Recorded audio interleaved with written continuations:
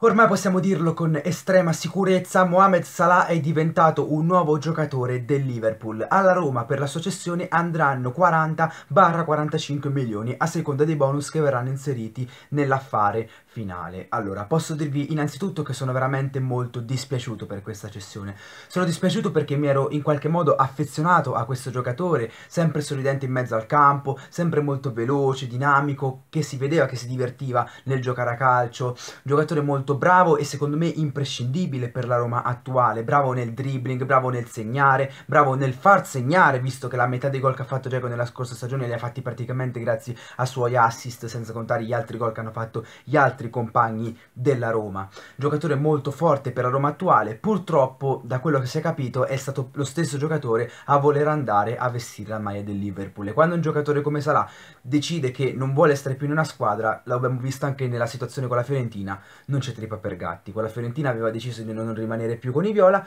e la stessa cosa è capitata a noi. Dopo due anni comunque veramente fantastici tra tanti gol e tanti assist ha deciso di tornare in Inghilterra dopo l'esperienza un po' negativa con il Chelsea. Questa volta andrà con il Liverpool.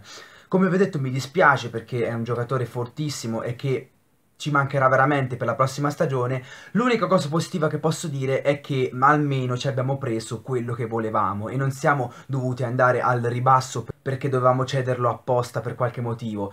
L'unica cosa positiva è che la Roma ha voluto 45 milioni e 45 milioni avrà per poterli reinvestire sul mercato per prendere non solo un degno sostituto di Salah ma un sostituto del sostituto se così si può dire. Perché dico questo? Allora, con la partenza di Salah gli esterni offensivi giallorossi sono diventati due. Sono rimasti praticamente solo Perotti ed El Sharawi. Di conseguenza, visto che il modulo di Di Francesco è un 4-3-3, serviranno necessariamente almeno due sostituti dei titolari.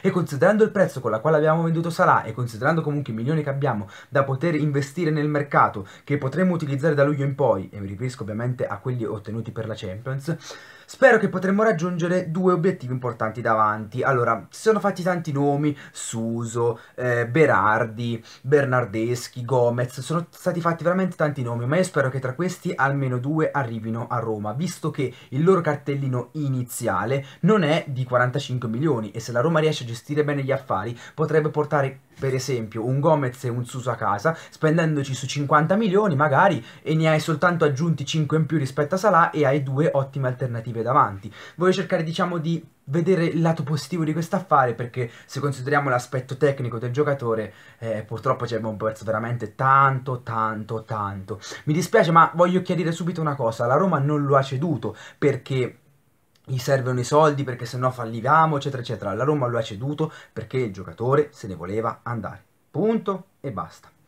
L'unica cosa che la Roma poteva fare era cercare, prima di tutto, di non darlo in Italia, obiettivo riuscito. Seconda cosa, di darlo a una squadra estera prendendoci quanti più milioni possibili e facendo noi stessi il prezzo della sua cessione. Anche questo obiettivo riuscito. Quindi sono comunque soddisfatto del lavoro che ha fatto il nostro DS voglio dare un messaggio a tutti quelli che adesso parlano di, dis di distruzione della rosa, che adesso falli fa falliremo, arriveremo settimi, ottavi, eccetera, eccetera. La Roma sta facendo già un buon lavoro per sistemare la propria rosa. Monci sa il fatto suo e saprà sicuramente sostituire degnamente Salah. I giocatori vanno e vengono, ma non cominciamo a criticare tutta la società e tutto l'allenatore, eccetera, eccetera, soltanto per questa cessione molto dolorosa. È una cessione che fa molto male a me, ma comunque fa male alla squadra, ma sono sicuro che Monci lavorerà alla grande per risistemare la situazione. Sono molto fiducioso sul suo lavoro. In ultimo voglio fare un in bocca al lupo al nostro Mohamed Salah che per quanto mi è dispiaciuto che se ne sia voluto andare via si è sempre comportato in maniera professionale ed esemplare. Mai una parola fuori posto, si è sempre impegnato al massimo, anche con la Coppa d'Africa è subito tornato ed è subito tornato con grande grinta e voglia di fare, non come avevano fatto Gervini e Dumbia